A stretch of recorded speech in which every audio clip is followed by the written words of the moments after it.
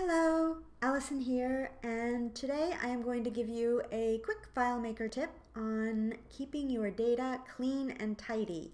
I often get asked how to find records who have missing information.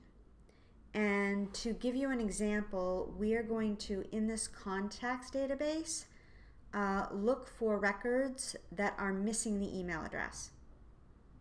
To do this, we're going to click on the Find button or do Control F or Command F and then click into the email field and then click the or type the equal sign and then hit enter or click the Perform Find button.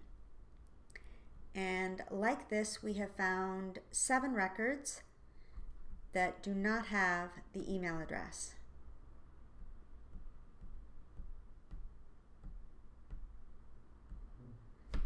So again, find, click the equal sign, hit enter, and there are your records that are available to clean up, uh, change, delete, etc.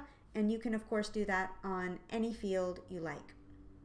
I hope this uh, video has helped you and if you like this video and would like to see more tips like this please go ahead and like the video. And if you would like to receive uh, notifications on when new videos like this are released go ahead and click the subscribe button uh, and the little bell. The little bell is the one that will uh, get you notifications of future videos.